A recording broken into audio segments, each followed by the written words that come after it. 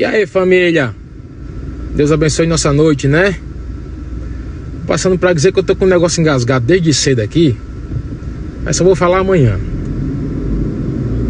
Me aguarda aí, tá?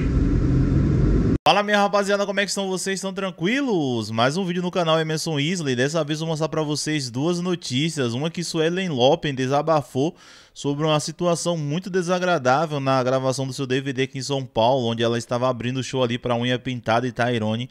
Também vou mostrar para vocês que DJ Ives falou que tinha algo que estava na garganta, que estava ali engasgado, ele ia soltar hoje pela manhã e hoje ele resolveu soltar sobre aí Massinho Sensação, vem entender o que é que é. Mas antes meu de um assunto, eu gostaria de pedir para você que está chegando aqui agora, primeiramente, seja bem-vindo ao nosso humilde canal. Não se esqueça de se inscrever aqui embaixo, ativar o sininho de notificações e, é claro, deixar o seu like para você ser lembrado toda vez que eu postar conteúdos novos aqui. Lembrando a todos que este é um canal de entretenimento onde eu trago notícias, polêmicas, histórias, curiosidades e muito mais. Rapaziada, antes de eu ao conteúdo, eu gostaria de dividir um momento super importante aqui para vocês. Quem me acompanha lá no Instagram e quem fica aqui ligado no canal Emerson Isley viu que eu postei na comunidade. Eu recebi o convite da galera da Top Eventos, mas precisamente de Rui, ele que ali é um dos sócios da, da Top. Ele me convidou para ir no evento Piseiros ontem que aconteceu aqui em São Paulo, lá no CTN, com shows de João Gomes, Bildo Piseiro, Tarcísio do Acordeon e Vitor Fernandes. Para mim, assim, foi muito surreal. Teve altas coisas super interessantes. Eu vou separar três vídeos à parte aqui para trazer para vocês sobre esse evento. Teve algo que João Gomes fez no palco lá que eu achei muito interessante. Também Tarcísio do Acordeon acabou desabafando. Vitor Fernandes, conheci essa galera toda e para mim foi surreal. Tava lá no meio das estrelas, velho. Então, porra, para mim foi top demais. Só tenho que agradecer a todos vocês aí que estão aqui todo dia consumindo nossos conteúdos. Me segue, quem me segue lá no meu Instagram Instagram também. E, pô, velho, nada disso teria acontecido, como eu falo constantemente, se não fosse todos vocês, beleza? Então, gente, muito obrigado mesmo de coração. E a notícia que eu vou mostrar aqui para vocês é que DJ Ives ontem postou nos seus stories no Instagram que estava com uma coisa engasgada, velho, que ia soltar hoje. Aí as pessoas ficaram ansiosas querendo saber, até porque ontem Carlinhos Aristides, ele que é um dos sócios da Vibe, acabou fazendo uma entrevista e falou sobre DJ Ives, o porquê que ele tinha tirado o DJ da empresa. E algumas pessoas achavam que o que o que ele ia falar hoje iria ser isso, porém não foi o que a galera esperava e sim uma parceria com Massinho Sensação velho. Então, assim, o homem tá marqueteiro demais. Eu vou mostrar pra vocês aí esses stories de DJ Ives. E aí, família? Deus abençoe nossa noite, né? Passando pra dizer que eu tô com um negócio engasgado desde cedo aqui. Mas só vou falar amanhã. Me aguarda aí, tá? Vocês que tinham novidade hoje ia soltar algo que tava engasgado, né? Saudade que eu tava de ver uma câmera, meu. Primeiro, começar aqui por ele. Saudações aí, viu? Mas a bomba não é você não, meu filho. Rapaz, assim, é. a pouco foi Vixe! O que tava engasgado é isso daqui, ó. É tiro, porrada e bomba, papai. É uma banda, né? Chama na pressão, fica batendo chega. pressão é grande agora, esqueça. Vai tomar uma música de todo mundo, mano. Eu não te largo. Como é que acaba tomando música de todo mundo, é? né, Digão? Sei não. Tá uma pisadinha lá. Explodiu, foi pra cima, botou 8 milhões de ouvintes. Estourou, ganhando dinheiro. Mesmo, né? Então sorriso aí, macho. Eita caralho. Tá parecendo sorriso de Meu Deus do céu. Vamos pra mais uma, meu filho? Vamos embora, papai. Deus na frente, nós atrás. Tamo que nem dor de dente, viu? Vamos embora. Bebês! Estou aqui agora gravando uma novidade. Estou juntamente com o meu balé. É um prazer, né? Estar de volta. Dá uma voltinha pro Brasil. Chama, bebê! Prazer de novo, viu? Com certeza.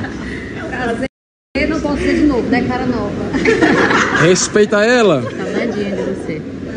Tá repreendido. Vai pra lá, mulher. Beijo, viu? Obrigado. Obrigado é uma banda. É uma banda. Pois é, rapaziada, geral, porque ele falou muito sério, ele falou, é, eu tô com um negócio engasgado aí, aguardem que amanhã eu vou soltar, tipo, que uma bomba, né, então todo mundo falou, pô, o que é que é, o que é que é, todo mundo ansioso, mas que esse feat aí vinha top e faça muito sucesso aí, porque DJ está voltando com tudo, acho que ele já voltou com tudo, né, velho, porque as parcerias que estão vindo nesse novo álbum dele aí, pelo amor de Deus, vai revolucionar o piseiro, assim, acredito eu. A outra coisa que eu resolvi mostrar aqui pra vocês, como vocês sabem, eu até postei uns cortes aqui no canal, algumas horas atrás, postei dois cortes. E ontem também postei alguns. Foi de uma entrevista que eu fiz com Suelen Lopes. A galera que não conhece, ela é cantora aqui em São Paulo, bastante conhecida, faz shows pra caramba. Inclusive na entrevista ela chegou a falar que fazia cerca de 10, 11, 12, 13 shows por final de semana antes mesmo da pandemia. Porém, quando a pandemia acabou, ela meio que ali teve que se reinventar, abriu alguns, abriu um comércio e tal.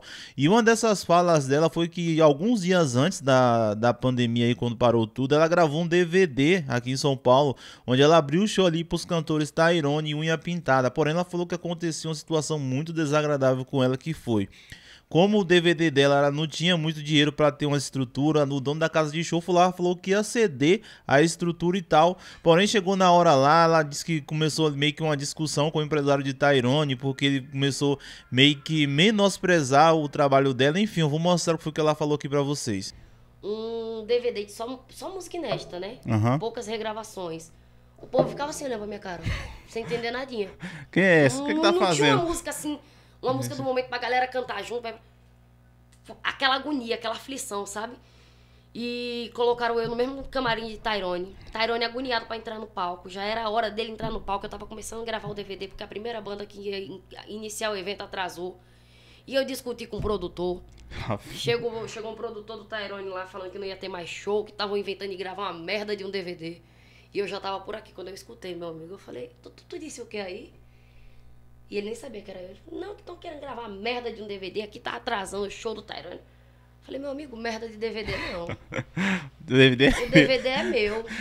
Não estou falando com você, estava falando com. Falei, agora você vai falar comigo. Queira você, não queira, eu vou gravar meu DVD sim. E aí a gente entrou jeito no mês, não discute com a menina, vai gravar DVD e tal. Ele, não, ela é muito desaforada. Falei, meu amigo, era meu sonho. É, Mas, tipo, vocês não sentiu uma, uma certa humilhação, né? O cara falou isso Tu é aí. doido, é? Demais. Fora que colocaram eu e o Tairone no mesmo camarim, eu tive que toda hora entrar pra trocar de roupa, a cara no chão. Você é doido. Mas Ô, cara, nem desculpa, falou. desculpa. Sei, Tyrone não falou nada, nem ô, desculpa, não falou nada. Vai lá, vai lá, boa sorte, boa sorte. Mas eu sei que por dentro ele não tava legal, né? Ah, mas é complicado, mas você tava vivendo o seu sonho, né, velho? Vivendo meu sonho. Só que é, poucas pessoas en- entendem, né? E querem ajudar nesse momento. É, realmente, Eu velho. tive que brigar com meio mundo de gente pra aquele DVD acontecer. A iluminação, que o meu amigo falou, você pode usar toda a iluminação, né? Aí ele subiu no palco. Gente, agora com vocês, o primeiro DVD, Suelen Lopes. Aí soltou a abertura da banda. Cadê as luzes? Entrei no palco, uma escuridão do cabrão, que eu falei, ei, volta, volta, volta tudo. Aí me cutucaram cara e falou assim, ei, foi o gordinho ali que tu discutiu, que falou pra não acender luz nenhuma pra você. Ixi, deu merda. Fui atrás desse homem. Não, olha, você tá ficando doido. O que que tá passando? Ele, não, que não sei o que. A luz é só pra banda principal. Juro por Deus, a banda todinha no palco. Sei. Pra gravar o DVD. A, banda, a luz é só pra banda principal. Você não pagou pra usar a iluminação. Mas de que era a iluminação mesmo? Era O dono da... da festa. Oxi, Que falou que tava tudo liberado. Aí bateram o rádio, o dono da festa voltou, acende tudo que tiver aqui que ela vai cantar e vai fazer o DVD dela com toda a iluminação. Aí... Aí acendeu. Cedo, aí deu certo, né? Foi humilhação em cima de humilhação, mas Deus honrou. Pois é, rapaziada, como vocês viram aí, L. Lopes falando dessa situação muito desagradável. É o que eu falo, velho, esse meio da música aí, só Deus. E assim, estamos aí, é, todo dia a dia de aprendizado e vida que segue, né, rapaziada? Mas enfim, comente aí o que, é que vocês acharam dessa notícia de Suelen Lopes. Eu vou deixar o link da entrevista completa aqui na descrição, também vou deixar no final deste vídeo aparecendo pra vocês, beleza? Muitíssimo obrigado e até qualquer momento. Tamo junto!